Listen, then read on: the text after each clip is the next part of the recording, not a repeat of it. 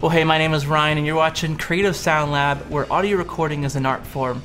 And this is part three of the Mastering the Art of Recording Drums Without Sampling. It's a multi-video series that's really cool. Uh, part one is already blowing up about overheads. If you haven't watched that already, go ahead and check it out first. It's really the foundation of the entire series.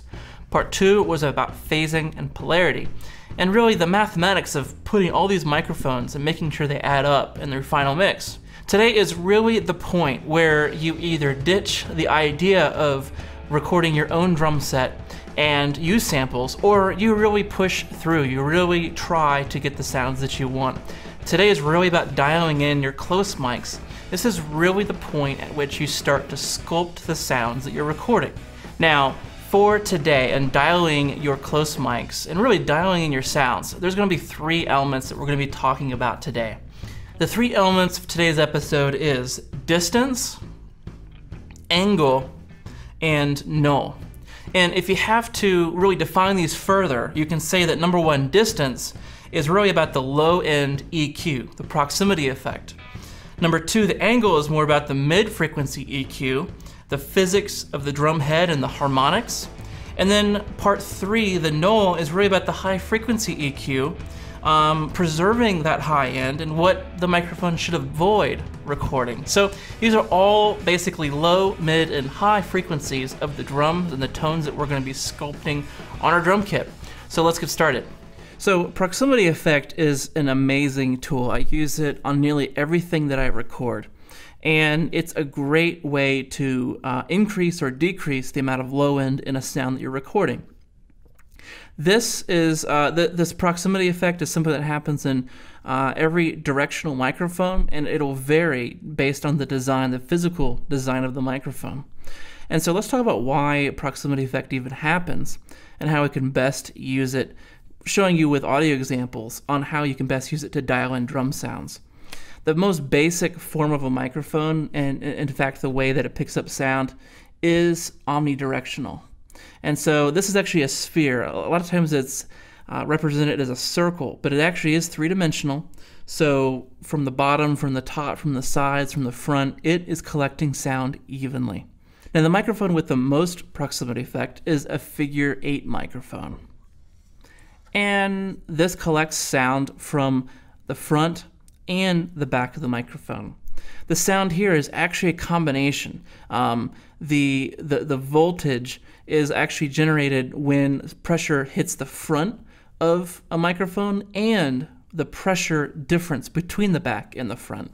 Okay, so it's almost like um, a, a surge of waves, like a sound waves, and it's hitting the front, but then it's also around the back. It's like this dip okay, this dip. And so sound is actually hitting the front and it takes time to actually go around. Let's say this is a, a ribbon microphone.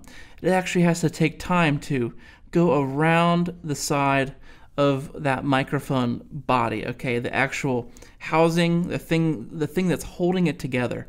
Of course, we have, you know, magnets over here. So there's there are things that has to go around to reach the back and then hit the back of that ribbon. This is called the pressure gradient. It's a combination of the pressure of the front and the pressure of the back, that difference.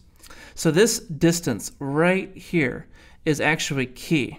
As we get closer and closer to the microphone, this distance stays the same, but our musical instrument, our drum, is getting closer and closer. All of a sudden, if you think of these as kind of a ratio, this is actually exponentially changing. Okay, so let's say this is one inch and our drum is only four inches away. If we half the distance, now we're at a, a two to one ratio of whatever this distance is, an inch, and two inches to our drum. We get closer, all of a sudden, boom, we're one to one. So exponentially, we're rising, we're affecting the pressure gradient of the back and front of the microphone. This is why we get proximity effect. Notice how as we're moving the microphone closer to the drum, we're adding proximity effect. Each microphone is going to be a little different in the amount of proximity effect that it has.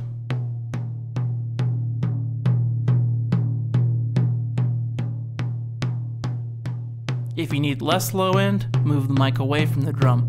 If you need more low end, move it closer.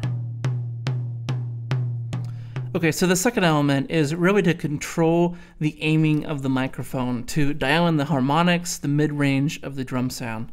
The way that I like to think of it is that the center of the drum is producing the fundamental. Um, if this were a guitar string, uh, that would be E, right? But the second or third harmonic could be, you know, fourth or fifth uh, octave, you know. There's all these other frequencies that stack in on top of that E that are a part of the sound of a guitar. That's how our ear identifies exactly what instrument is being played. So in this case, we're actually able to dial in and shape and help capture the unique sound of the drum based on where we're pointing the mic. The way that I like to think of this is that the fundamental happens right in the middle. This is where the, the actual membrane can be moving the greatest amount, therefore creating the slowest waves, okay? Uh, then as we move to the edge, we're producing, you know, the second, you know, and the third, and you know, all these other, uh, all these other elements of the drum sound that make it sound like a drum. Uh, these are the elements that cue the listener in to say, oh, that sounds like a coated drum head or a clear drum head or a calfskin drum head. Uh, these are the sonic identity of what the drum is, whether it's vintage, whether it's birch or maple. This is all that important um, fingerprint information of the drum. And so as we dial in our drum sounds, we can say, do we want a really rich uh, spectrum of harmonic content? yeah, we can point it more towards the edge of the drum. Or if we want a more like rock, thunderous, more pure drum sound that doesn't have too much extra junk going on, we can aim the mic a little bit more into the center of the drum. And that way we can get a more pure sound out of the drum.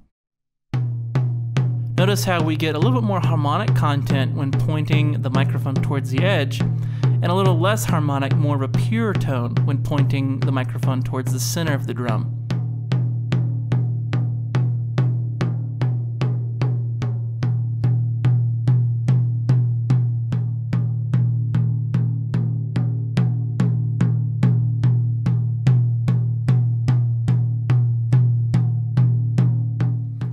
So, a third element of dialing in uh, your close mics is really to preserve the high end. So we've talked about proximity effect for the low, harmonic content of angling the mics, and really in our close mics, uh, it does collect the high end, but there are so many cymbals around a typical drum set, we have to really protect the high end attack sound that our microphones are able to collect. And this is really the name of the game is pointing the null of the microphone at the cymbals. This way, if we need to boost anything out of our snare drum, or we need to hear clearly the attack over our floor tom, we can do that without having just a ton of wash of cymbals into those mics. Usually for the snare drum, I have to point the back of the SM57 at the hi-hat. This may mean I have to use a right angle uh, to get it in there, to sneak it in there, but I basically point the null back at the hi-hat. Also, for the floor tom, I have to point the null of the microphone back at the ride cymbal. This means that um, I have to point the null, but I also have to keep in mind of where on the drum I want to be pointing the front of the microphone. So it's kind of a balancing act, but pointing the null of the microphone helps to preserve the high end, that high end attack. And without using the null of microphones, we're not able to really preserve that and we won't have any high end because we won't be able to turn up these close mics the second the drummer hits the cymbals. Let's check out how this sounds in practice. Here we can hear how the polar pad on the microphone is rejecting what is behind the cardioid microphone. And we can use this to avoid loud cymbal bleed that will cause us trouble in the final mix.